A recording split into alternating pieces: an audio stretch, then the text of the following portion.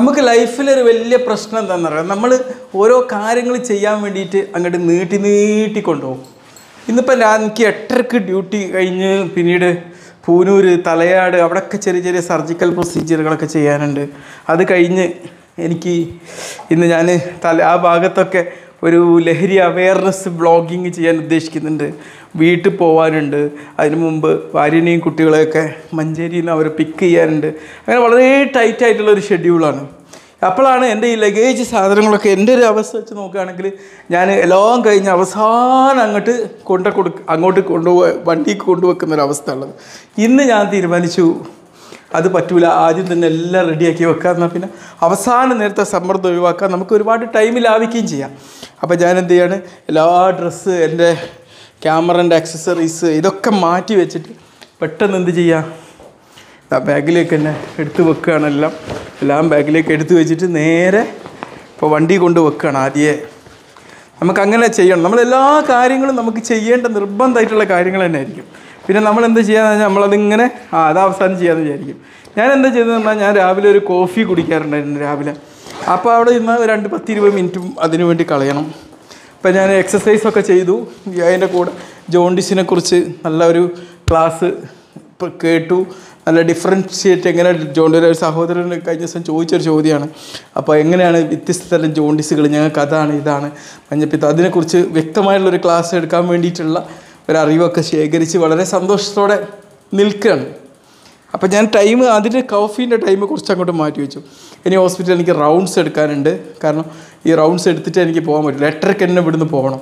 അപ്പോൾ എട്ടര വരെ ഞാൻ കാത്തിരുന്ന് കഴിഞ്ഞാൽ ഞാൻ എന്താ പ്രശ്നം എന്ന് വെച്ച് കഴിഞ്ഞാൽ ഞാൻ ചിന്തിക്കുമല്ലോ. ചിലപ്പോൾ ഞാൻ ഏ ഇരുപതിന് ഹോസ്പിറ്റലിന്റെ കൺസൾട്ടിങ് റൂമിലേക്ക് ഇറങ്ങിയാൽ ചിലപ്പോൾ എനിക്ക് പോകാൻ പറ്റിയ ചിലപ്പം എട്ടര ആവും അപ്പോഴേക്കും അവിടെ അപ്പോഴേക്ക് എട്ടരക്ക് ഇങ്ങോട്ട് ധൃതിയിൽ അങ്ങോട്ട് പോകാനുള്ള തിരക്കിൽ ഇങ്ങോട്ട് വീട് ഇങ്ങോട്ട് ഓടി ഓടി വന്ന് ഇതൊക്കെ അറേഞ്ച് ചെയ്ത് വെച്ച് അത് അറേഞ്ച് ചെയ്ത് വെച്ച് ഇത് വെച്ച് ഇങ്ങോട്ട് പോകുമ്പോഴേക്ക് തലച്ചോറിലാകെ ഒരു ഫോഗായിരിക്കും അവിടെ പോയിട്ട് അവിടെ പോയിട്ട് അവിടെ വെയിറ്റ് ചെയ്യുന്ന രോഗികൾ മറ്റൊരു ഹോസ്പിറ്റലിൽ പ്രൊസീജിയർ ചെയ്യാൻ വെയിറ്റ് ചെയ്യുന്ന രോഗികൾ പിന്നെ കുറച്ച് ലൈഫ് സ്റ്റൈൽ ഞാൻ പ്രിവെന്റീവ് കാർഡിയോളജി ഒരു ഡിപ്ലോമയൊക്കെ എടുത്തതാണ്. അതിൽ നിന്ന് വല്ലാണ്ട് പ്രാക്ടീസ് ചെയ്യാറില്ലായിരുന്നു. പക്ഷേ ഒരു ഹോസ്പിറ്റലിൽ നിർബന്ധിച്ചതിന്റെ അടിസ്ഥാനത്തിൽ ലൈഫ് സ്റ്റൈൽ ഡിസീസുകളായിട്ട് ബന്ധപ്പെട്ടിട്ട് ഒരു മൂന്നോ നാലോ അപ്പോയിൻമെന്റ് അത്രേ സമയം ഉണ്ടാവുള്ളൂ. കാരണം ഇതിന് കുറച്ച് ടൈം എടുക്കുന്നുണ്ട്. അത്ര അപ്പോയിൻമെന്റ് എടുത്തുകൊണ്ട് ആദ്യമായിട്ട് അങ്ങനെ ഒരു സംഭവം കൂടി സ്റ്റാർട്ട് ചെയ്യാണ് കാരണം നമ്മൾ വെറുതെ പഠിച്ചു വെച്ചത് വെറുതെ ആവാൻ പാടില്ലല്ലോ. ലൈഫ് സ്റ്റൈൽ ഡിസീസുകൾ പ്രിവെന്റ് ചെയ്യാൻ അങ്ങനത്തെ കാര്യത്തിലൊക്കെ ഉള്ള ആ ഒരു സംഭവം കൂടി ഇന്ന് തുടങ്ങുകയാണ്. അപ്പോൾ അതിനൊക്കെയുള്ള ഒരു സമ്മർദ്ദങ്ങളായിട്ട് ഇങ്ങനെ നിൽക്കുകയാണ്. അപ്പോൾ അത് ആ ഒരു ലാസ്റ്റ് മിനിറ്റ് സമ്മർദ്ദം ഒഴിവാക്കണമെങ്കിൽ നമ്മൾ എന്ത് ചെയ്യണം? പ്രയോറിറ്റി അനുസരിച്ച് നമ്മൾ ആദ്യം ചെയ്യണം. നമ്മളപ്പോൾ എന്ത് ചെയ്യണം? ആദ്യം നമ്മൾ begin with end in mind അവസാനം മുന്നിൽ കണ്ടുകൊണ്ട് തന്നെ ആലംബിക്കുക ഞാൻ ഇന്ന് ചിന്തിച്ചതെന്ന് വെച്ചാൽ എന്താ വെച്ചാൽ ഇതാ ഇതൊക്കെ ഞാനിങ്ങനെ നീട്ടി വെച്ച് കഴിഞ്ഞാൽ ഈ എട്ട് മുപ്പതിന് പോകാൻ നേരത്തുണ്ടാവുന്ന ആ സമ്മർദ്ദം ഞാൻ ആദ്യം മുന്നിൽ കണ്ടു. അപ്പോൾ അതിനനുസരിച്ച് ഇതിന്റെ ടൈം ഫസ്റ്റ് തിങ് ഫസ്റ്റ് ആദ്യം ചെയ്യേണ്ട കാര്യങ്ങളൊക്കെ ആദ്യം മുൻഗണന കൊടുത്ത് വീഡിയോ ഷൂട്ടിങ് എനിക്ക് വല്ലാണ്ട് പ്ലഷർ നൽകുന്ന ഒരു കാര്യമല്ലെങ്കിലും എനിക്ക് എക്സസൈസും പഠനവും അത് മസ്റ്റാണ് അത് അരമണിക്കൂർ പൂർത്തീകരിച്ച ശേഷമാണെന്ന് വീഡിയോ ഷൂട്ട് ചെയ്തത്. അതിന്റെ ഇടയിൽ കൂടി ഒരു വീഡിയോക്ക് ഇൻസ്റ്റന്റ് ആയിട്ട് റിപ്ലൈ കൊടുക്കണം തോന്നിയിരുന്നു. അത് കൊടുത്തു നിസ്കരിച്ചു അതെല്ലാം കഴിഞ്ഞ് ഒക്കെ ആക്കിയിട്ട് ഇതാ ഇപ്പം നമ്മൾ എല്ലാ കാര്യങ്ങളും ഒതുക്കിയിട്ട് വണ്ടിയിൽ ചാവി വണ്ടി ഇതാ ചാവി ഇതാ വണ്ടിന്റെ വണ്ടിക്ക് സാധനം കൊണ്ടുവെക്കാൻ പോവാം. എപ്പോഴും നമ്മൾ ചിന്തിക്കണം അതിന്റെ outcome begin with end in mind അവസാനം മുന്നിൽ കണ്ടുകൊണ്ടേ നമ്മൾ എന്തോ ആരംഭിക്കാവും. പിന്നെ ഫസ്റ്റ് തിങ് ഫസ്റ്റ് നമ്മൾ ആദ്യം എന്താണ് ചെയ്യേണ്ടത്? എല്ലാ കാര്യങ്ങളും നമുക്ക് ചെയ്യേണ്ടി വരും. ഇതെല്ലാം കഴിഞ്ഞ് അവസാനം എനിക്കൊരു കോഫി കുടിക്കാനുള്ള സമയവും കിട്ടും. മനസ്സിലായില്ലേ? അതൊക്കെ കിട്ടും. അപ്പോൾ നമുക്ക് എല്ലാത്തിനും സമയം ഉണ്ടാവും. പക്ഷെ നമ്മൾ പ്രയോറിറ്റി അനുസരിച്ച് ചെയ്യുക എന്നുള്ളതാണ്. ഓക്കെ ഇപ്പം ഞാൻ നേരത്തെ വൈകിയാടെ പോയിരുന്നെങ്കിൽ അതിലും വലിയ ചോറാകുമായിരുന്നു. കാരണം എന്താ പറയുക ഇത് കുറേ സാധനം ഇനിയും മറന്നു പോയിട്ടുണ്ട്. വണ്ടിയിൽ തന്നെ കിടക്കുകയാണ് റൂമിലെ ചാവി.